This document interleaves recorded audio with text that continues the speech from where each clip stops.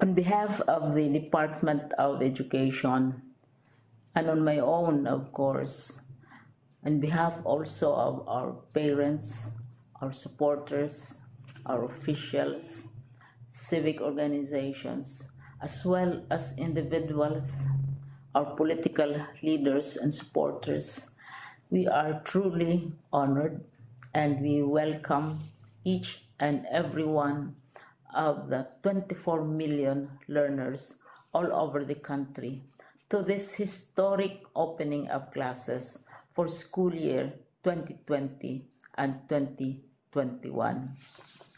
For the past few months, our world has been filled with uncertainties as we face this unforeseen and hidden enemy.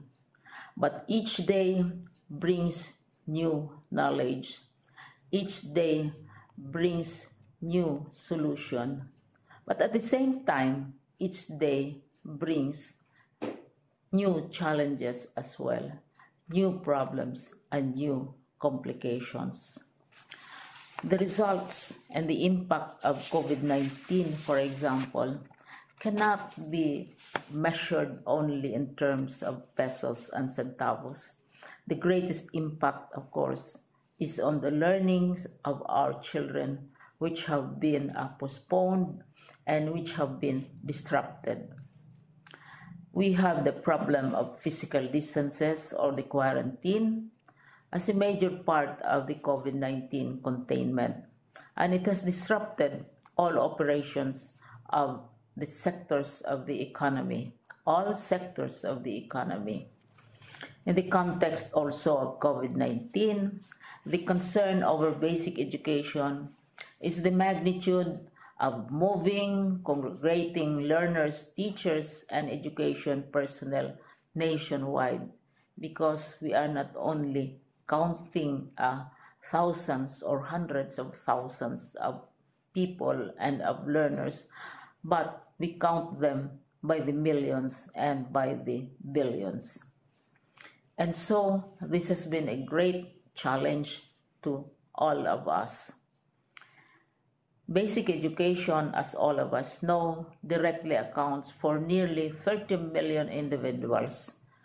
Uh, at this time, more than 24 million are formally enrolled, but we have the staff, we have the teachers, and we have, of course, the parents themselves, involving 61,923 schools, and not counting even the ancillary services supporting the education system, including transport, food, books, uniforms, and other services.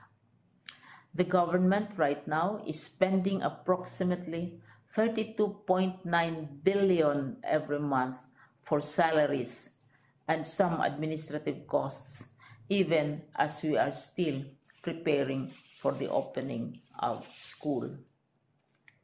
And so, we have not been spared from the impacts of the pandemic.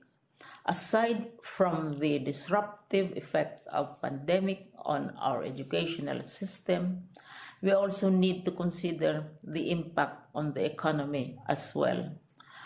Our enrollment from private school learners has been negatively affected, primarily because many of those who have jobs and have lost such jobs cannot support their children anymore in private schools. This has resulted in massive migration of learners from the public school, from the private schools, I mean, to the public schools, as well as migration of teachers also. And this has been a very difficult uh, problem, challenge for us to balance because the Constitution provides for the um, for the uh, provision both of public and private education as complementary to each other. But as we continue to confront the issues brought about by the pandemic, by the economy, and the varied impacts, we continue to repeat endlessly our call that no matter what happens, and I said this at the United Nations General Assembly, learning must continue and education cannot wait. Our children cannot wait. We cannot afford a delay of even six months to one year of the learning process because we all know that the damage would be incalculable.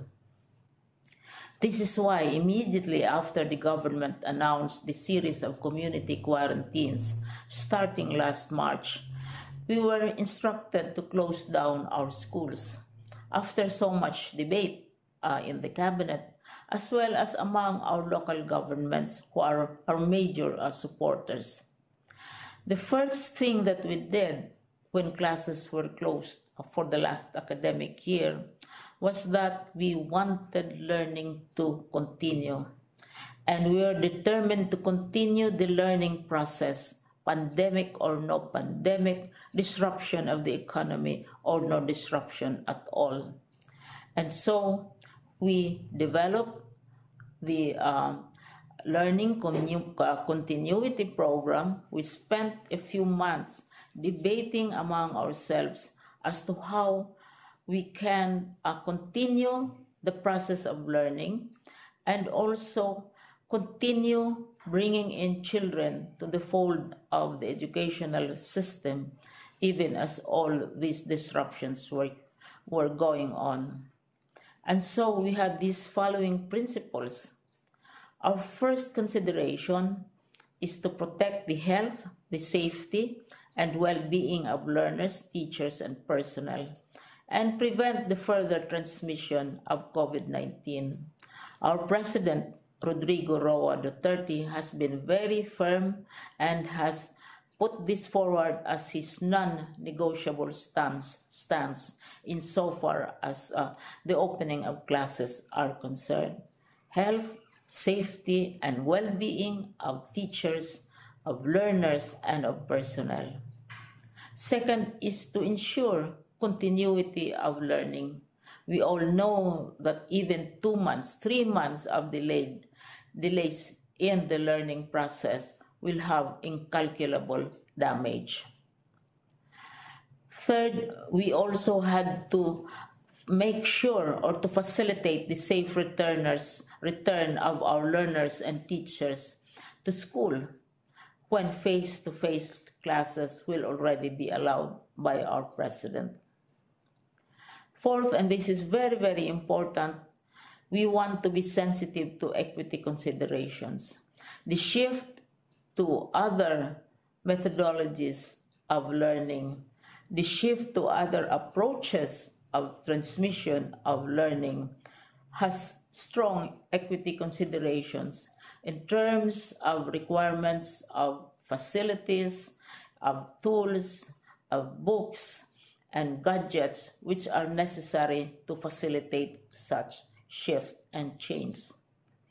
And finally, we have to link and bridge our original pre-COVID uh, policy of pivoting to quality. Even as we decided to continue the learning process, we also are determined to hold on to our policy of EduKalidad or quality education. And so we agreed on the blended learning approach to uh, the transmission of learning to our, our children. Blended learning is not exactly new. It's not uh, a new invention. It's not created by this uh, administration in the Department of Health this has been going on for decades and has been introduced for quite some time uh, in education. The difference is that greater emphasis now is on the blended aspect.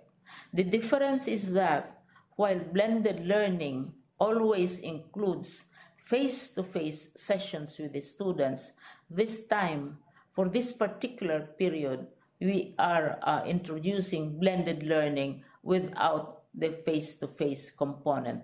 And of course, this is a challenge uh, for us. Therefore, we would like to express our appreciation to the 24 million learners, some of whom have been writing me and telling me, Secretary, these are the nine year olds, the eight year olds saying, Secretary, I want to go back to school. I want to be in a class again. To the parents, perhaps easily 48 to 50 million parents who accept the fact and who are urging us to continue teaching our learners. To the government, especially uh, our president, who promised to even scrape the bottom of the financial barrel, if only to support all our initiatives for blended uh, learning, except face to face at this time. To the legislature, which is uh, now um, looking very carefully at the budget of the Department of Education and finding ways to support all our efforts. To the various uh, institutions, international, local, who have given their help, their advice, and their encouragement. To civic organizations of professionals, of concerned citizens who have nonetheless continued the tradition of giving aid to our efforts in the Department of Education. And most important of all, the parents. And even equally important, the people, the individuals in the Department of Education family, starting with our teachers who have articulated again and again that the reason why they are teaching is to serve the country, to serve the learners. The reason why they are staying is not necessarily for material re reasons. They're staying because they're concerned about our learners. All of us want to continue the process of education for the sake of our learners.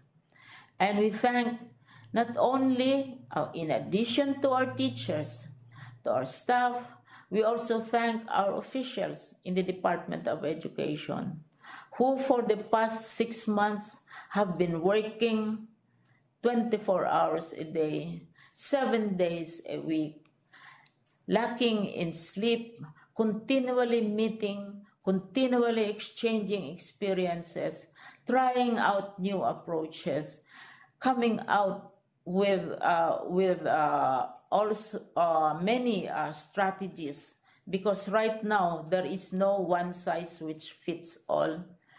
The approach of the schools differ one from the other, and I thank all of them for coming together, for bearing with all the challenges, because our children need to be supported.